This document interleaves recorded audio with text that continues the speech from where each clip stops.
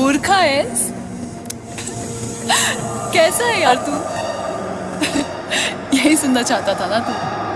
बेचारी, छुई मुई सी लड़की, इसको बचाऊँगा, हीरो बनूँगा। है ना? सच बोलूँ, अतुल पसंद है मुझे।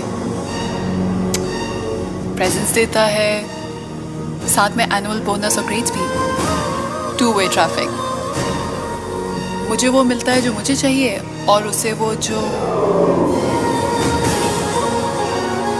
अब क्या है ना बोनस देने का टाइम पास में था और बीवी की नज़र टाइट तो हम दोनों कहाँ जाके गाना गाते?